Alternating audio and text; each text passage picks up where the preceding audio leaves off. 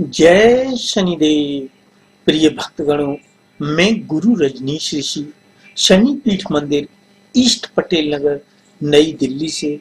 आज पुनः आप सभी लोगों के समक्ष उपस्थित हुआ हूँ। आपका, आज का अपना डेली राशि फल लेकर, दैनिक राशि फल लेकर। किंतु राशि फल देखने से पहले आपको पता होना चाहिए कि आप किस राशि का राशि फल देख रहे हैं।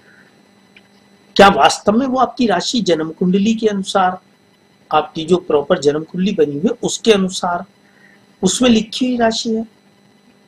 अगर ऐसा है तो वो निश्चित रूप से आपको सूट करती है। हमारा जो राशिफल है वो आपको सूट करता है।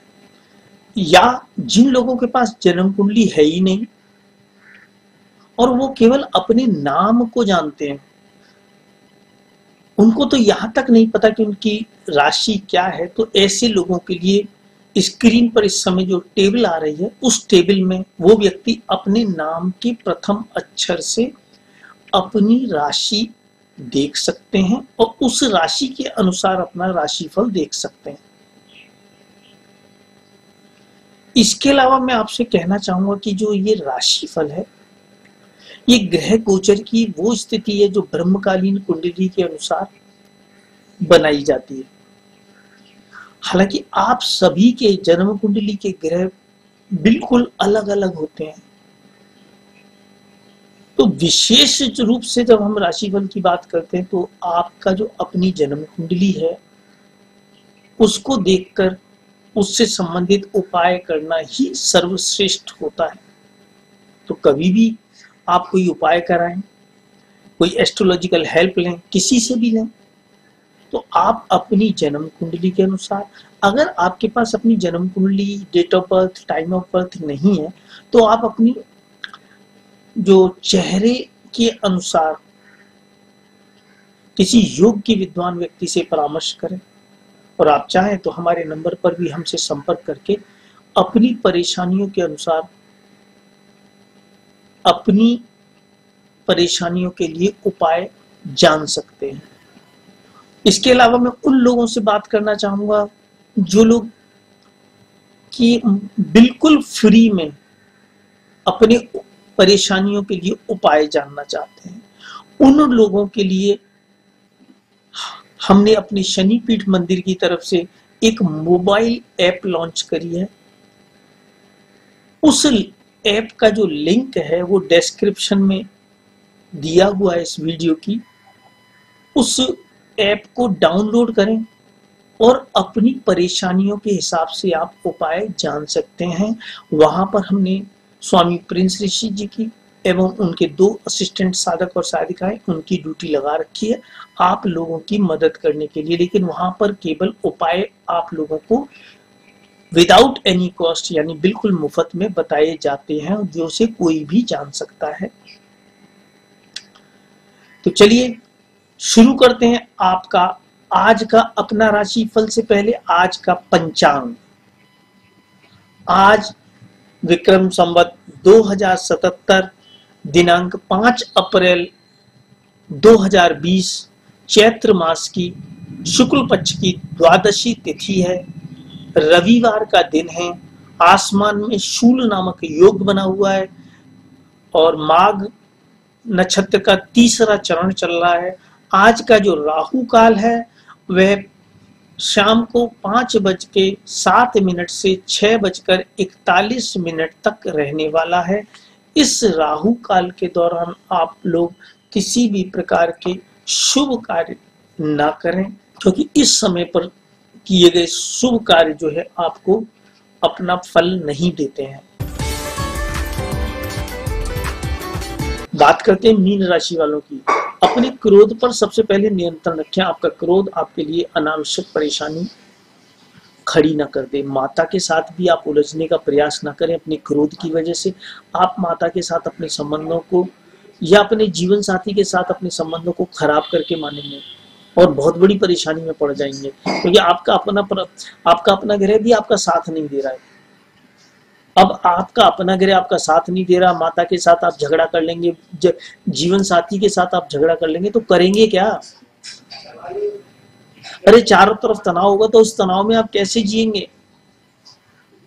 इसलिए बुद्धि से काम लीजिए विवेक से काम लीजिए धैर्य से काम लीजिए अपने क्रोध पर नियंत्रण रखिए। और इन सब जगहों के हालातों को स्थिरता प्रदान करिए और अपने मध्य खुशियाँ लाने का प्रयास करिए। बात करते हैं, परिवारजनों के साथ आपके संबंधों की तो निश्चित रूप से परिवार वाले, उनका आशीर्वाद लेकर आपकी आमदनी में वृद्धि होती स्पष्ट रूप से दिखाई दे रही है। तो आप उनका आशीर्वाद लेकर अपनी आमदनी को बढ़ाने का प्रयास करें। भाई बहनों के साथ अगर आप संबंधों की बात करते हैं तो अचानक से वो संबंध आपके लिए खुशखबरी देने वाले हैं। शुभता लाने वाले हैं तो उनका आशीर्वाद लेकर, उनका सहयोग लेकर, उनकी मदद लेकर आगे बढ़ने का प्रयास करें। निश्चित रूप से आपके बल में वृद्धि होगी धन दान के भंडारों में वृद्धि होगी। बात करते हैं स्टूडेंट्स की तो स्टूडेंट अपना फोकस इधर उधर भटकाने से बचाएँ, क्योंकि उनको और अधिक मौका मिल गया कोरोना के कारण, और अधिक समय मिल गया जो कॉम्पिटिटिव एग्ज़ाम्स थे। उनकी तैयारी करने का, जो ट्वेल्थ के पेपर हैं, जो रद्द हुए हैं, परीक्षाएँ, उनको लिए और तैयारी करके अपने कैरियर में अधिक से अधिक नंबर लाने का। तो फोकस करिए अपनी पढ़ाई लिखाई में, किंतु वो स्टूडेंट जो, जिनका पढ़ाई लिखाई में मन ही नहीं लगता, मेहनत करने के बाद भी अच्छे नंबर नहीं आते तो ऐसे स्टूडेंट से कहना चाहूँगा कि बिना किसी झिझक के, ऐसे सभी स्टूडेंट्स जिनका पढ़ाई लिखाई में मन नहीं लगता है, मेहनत करने के बाद भी अच्छे नंबर नहीं आते, वो स्क्रीन पर आ रहे नंबरों पर हमसे संपर्क स्थापित करें। और एस्ट्रोलॉजी के छोटे छोटे उपाय करके ना सिर्फ़ हर बार पहले से ज़्यादा नंबर लाएँ, अपितु आपका मन भी पढ़ने लिखने में लगने लगेगा। इस बात की हम आपको गारंटी देते हैं। बात करते हैं आपके स्वास्थ्य से संबंधित तो अचानक से सांस से संबंधित, यूरिन से संबंधित कोई प्रॉब्लम आपको परेशान कर सकती है। सतर्क रहिए, बाहर निकलने से बचिए, क्योंकि ये बीमारी जो कोरोना नामक बीमारी है, उसके बारे में बताया जा रहा है कि ये लंग्स की ही प्रॉब्लम दे रही है। फेफड़ों में सांस संबंधी बीमारी आ रही है। तो आप सतर्क रहिए, अचानक से आपके हालात गड़बड़ाए हैं। बाहर जाने से बिल्कुल परहेज करें, अपने स्वास्थ्य का ख्याल रखें। परेशानी होने पर तुरंत डॉक्टर से संपर्क करें। बात करते हैं उन व्यक्तियों की जिनकी शादी ही नहीं हुई है। उम्र निकले जा रही है। लोग अंकल आंटी कहकर चिढ़ाने लगे हैं। रिश्ते हैं कि बनते ही नहीं।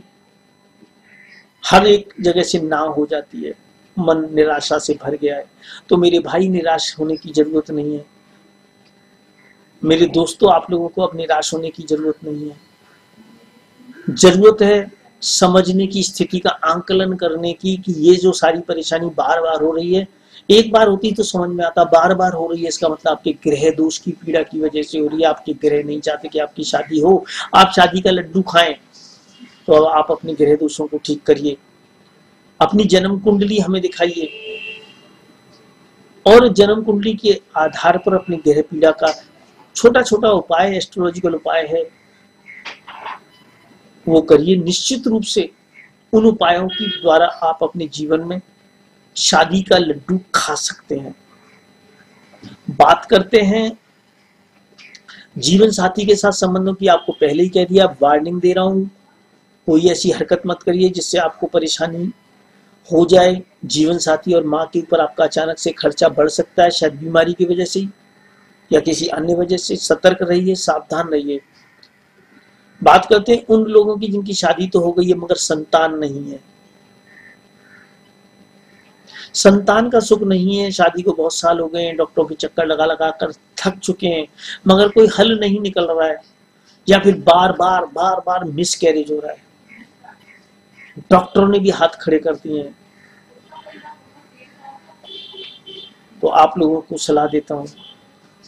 अब समय आ गया है कि डॉक्टरों की जहाँ से सीमा समाप्त होती है, वहाँ से एस्ट्रोलॉजी शुरू होती है। तो एस्ट्रोलॉजी का सहारा लेकर हमारे ऋषि मुनि जो संतों ने जो खोज करी थी, जिन, जिसे फॉर्मूलों के रूप में हमारे धर्म ग्रंथों में अंकित कर दिया, उन खोज के नाम पर, जो तो फॉर्मूलों की मदद लेकर एस्ट्रोलॉजी के छोटे छोटे उपाय करके आप अपने जीवन में संतानों की खुशियाँ निस्संदेह ला सकते हैं।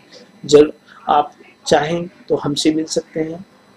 स्क्रीन पर आ रहे नंबरों पर हमसे video call phone call email या समय लेकर स्वयं मिलने आ सकते हैं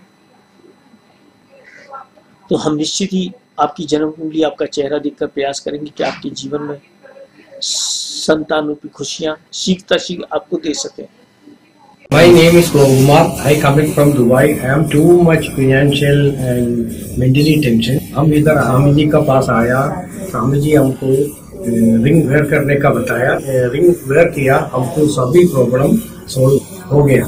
हमको थोड़ा प्रॉपर्टी सेल करने का था, ये भी इधर आया, ये रिंग वेयर किया, ये भी सेल हो गया। अभी आप लोगों को प्रॉब्लम होएगा, ये इधर ये शनि मंदिर में आओ गुरु जी को मिलो, आपका सभी प्रॉब्लम इधर से ठीक होएगा। हंड्रेड परसेंट आपको वादा करता है। करते हैं के बारे में जो युवक युवती प्रेम के रूप में बहुत परेशान है, अचानक से उनके संबंधों में, प्रेम संबंधों में तनाव बढ़ गया है। ऐसा लगता है कि कि इससे तो अच्छा था प्रेम ही नहीं करते। निराशा, घनघोर निराशा बार बार लड़ाई, झगड़े, रोना, ये जीवन का अंग बन गया है। प्रेम दर्द नहीं देता, प्रेम तो दवा होती है, प्रेम तो मधुरता का नाम है। किंतु अगर आपके लिए आपके लिए परेशानी का सबक बन गया है तो आप बिना किसी झिझक के स्क्रीन पर आ रहे नंबरों पर हमसे सलाह लेकर इस परेशानी के लिए उपाय ले सकते हैं और अपने जीवन में खुशियाँ ला सकते हैं।